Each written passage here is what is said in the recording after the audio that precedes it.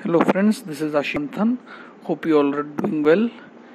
So in this video we will be sharing the strategy regarding our approach for the MBA CET exams and what should be your exact exam approach for the D-day that is tomorrow and day after tomorrow. So before we start the videos I would request you all to please subscribe to our channel for getting updated about the latest GDPI techniques, tips, MBA entrance exams. Now, let us start. Now, is the big question is as to how you do prepare for your D day. Let us talk about the exams. You have got 150 minutes for 200 questions. Any score above 150 should be decent enough to get into JBIMS and 130 plus should be decent enough to get into one of the top four colleges. That means that means that even a topper cannot answer or even for that matter see the entire set of questions. So the trick is to realize and solve the easy questions. And what i mean by exactly easy will be cleared in subsequent time. So for reading the entire question paper you need to distribute the 200 questions and 150 minutes into five mini papers of 40 questions and 30 minutes. And what should be your exact approach in solving those questions? It will get cleared.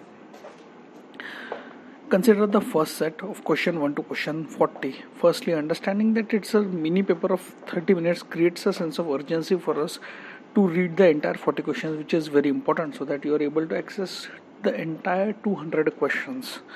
In the first 10 minutes scan through the entire 40 questions with good preparation you should be able to attempt at least 14 to 15 questions spending about 25 to 30 seconds on each questions. During this time simultaneously green mark the questions that would require 1 to 1.5 minutes for solving.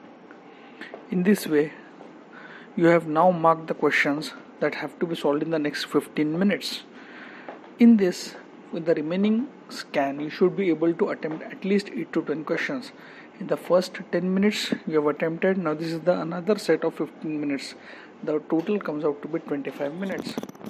In the remaining 5 minutes you have to guess mark all the remaining questions since there is no negative marking. So out of 40 questions you have now solved 22 to 25 sure shot questions guessing the remaining 15 odd questions. With luck and with a bit of smartness depending on the preparation level you should be able to attempt at least 3 or 4 out of this 15 so you have solved at least 26 to 29 questions out of the 40 in the first set.